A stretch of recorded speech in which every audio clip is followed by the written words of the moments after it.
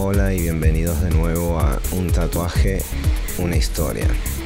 Estamos en Tao Tattoo Studio en Sevilla y vamos a hacer el retrato de un perro pitbull.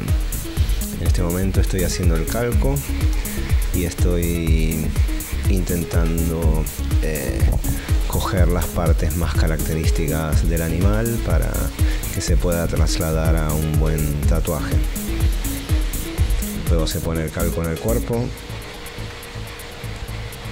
en la mejor forma posible, en una parte que no sea eh, muy deformada por los músculos o los huesos, lo más plano que sea una piel plana para no deformar el rostro del perro.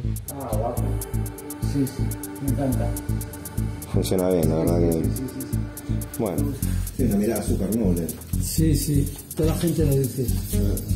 Tiene una mirada súper. Pillar todas esas cosas Sí, los de blanquitos. su personalidad. los- y- No, no, yo no hablo de los Ah. detalles, eso, eso es lo fácil. Ah, vale, Lo vale. difícil es pillar Su. eh, lo como. La expresión. Claro, su espíritu, por decirlo de alguna forma. Sí, sí.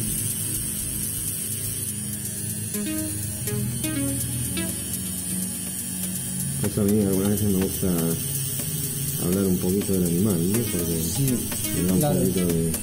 Una idea de cómo expresar lo que dibujo. La verdad que es súper importante al hacer retratos tanto de perros como personas.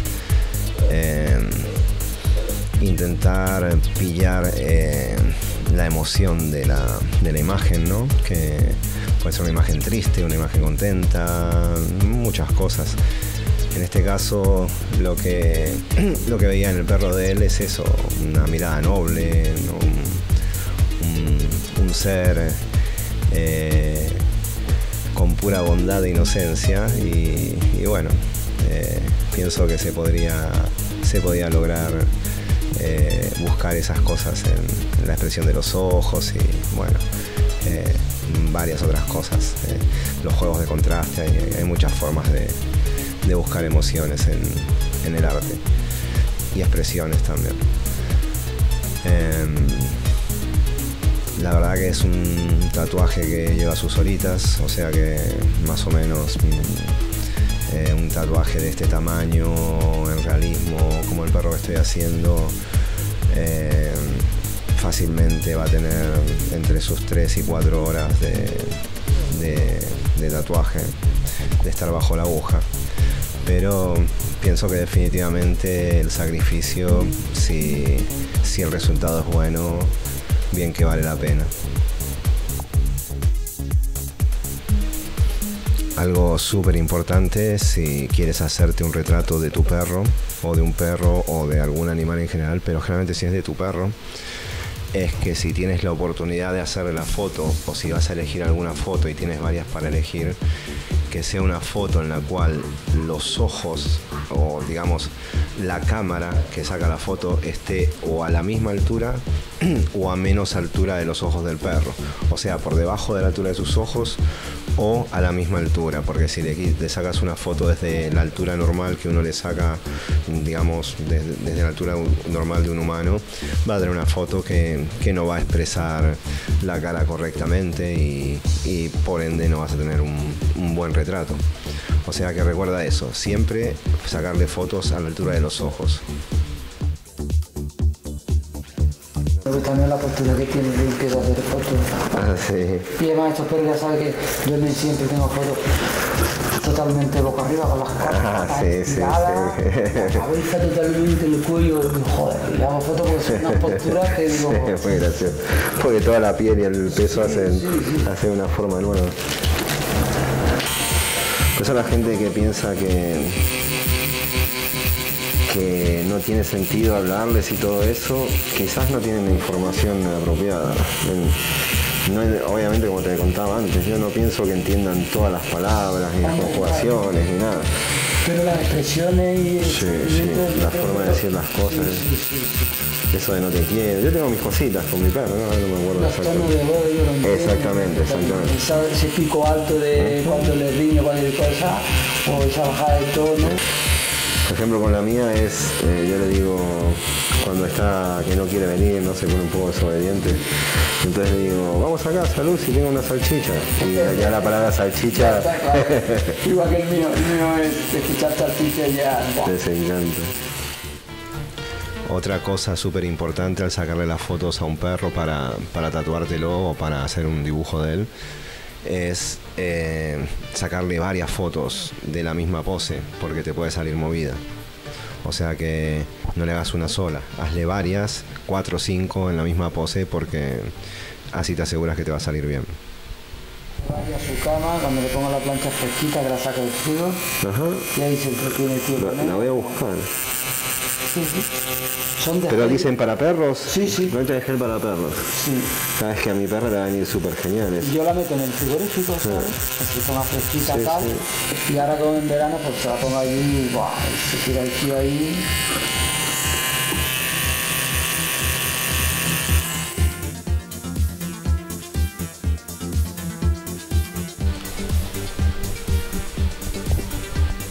¿Qué es lo que hace un, un buen tatuaje de, de retrato de un perro?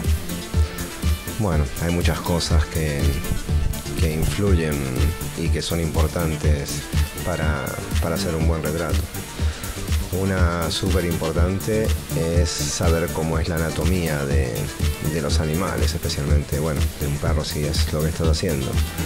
O sea que hay que entender cómo es básicamente la forma de su cabeza, cómo es la forma de su nariz, cómo es la forma de las orejas, cómo son los ojos.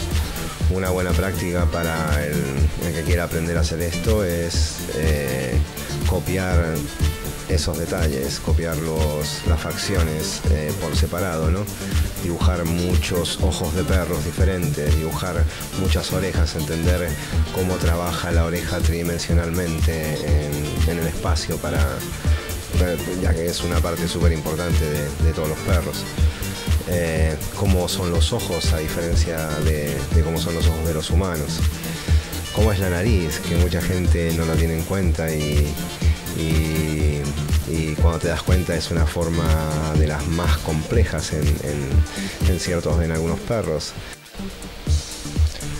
Después otra cosa que yo considero como tatuador importante eh, con respecto a los retratos de perros y básicamente a cualquier eh, tatuaje realista es tener muy en cuenta cómo va a envejecer el tatuaje a lo largo de los años. Em, esto implica saber que ciertas partes van a aclarar a medida que pasa el tiempo. Eh, también saber que cier- ciertas partes de la tinta se expanden por dentro de la piel. Eh, tener en cuenta que el sol eh, cuando quema ciertos colores los, los modifica, como por ejemplo el blanco que si está muy muy expuesto al sol se puede cambiar y, puede cambiar de ser digamos un blanco a ser un color más cremita o medio anaranjado. Entonces, bueno, son, son muchos factores que eh, hacen que un tatuaje que se pueda ver de una forma cuando está recién hecho no se va a ver exactamente de la misma forma con el paso del tiempo y eh, supongo que el fin de todos los tatuadores eh, que quieren darle algo bueno a sus clientes no es tanto cómo se ve inmediatamente, sino entender cómo se va a ver en un tiempo y trabajar para eso. Eh, en mi caso realmente siempre lo hago así, que hay ciertos factores que tengo que aplicar considerando estas cosas que estaba diciendo antes sobre cómo afecta el tiempo al tatuaje para que a medida que vaya pasando el tiempo el tatuaje siempre se vea como una buena pieza de arte.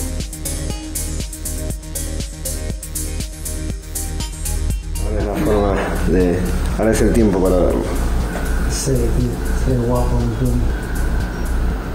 Sí, Lo reconoces, ¿no? sí, me Espectacular. promete. Y bueno, se acaba el vídeo y espero que les haya gustado. Eh, ya saben, si se quieren tatuar, estamos en Sevilla y, y nos gusta hacer retratos de perros. Así que si quieres un retrato de perro, quizás Tao tu Estudio sea tu estudio.